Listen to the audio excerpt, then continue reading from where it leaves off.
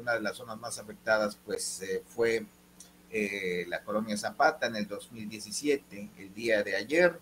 Eh, esto fue lo que vivió la gente, salió de sus casas por unos minutos, por varios minutos quedó todo suspendido, por varios minutos la gente estaba en la calle, los vehículos detenidos, la gente pues prácticamente orando, esperando que eso no arreciara eh, una situación verdaderamente intensa la que se vivió aquí en la colonia Zapata, la zona cero del 2017, donde usted recuerda, pues una manzana fue borrada prácticamente por el terremoto. Esta es, estas son imágenes de lo que se vivió minutos después, segundos después de este temblor.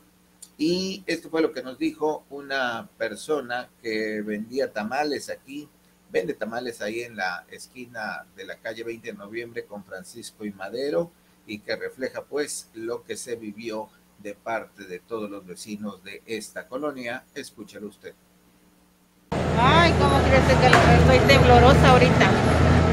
Siento que se me subió el azúcar, no veo bien hasta ayer.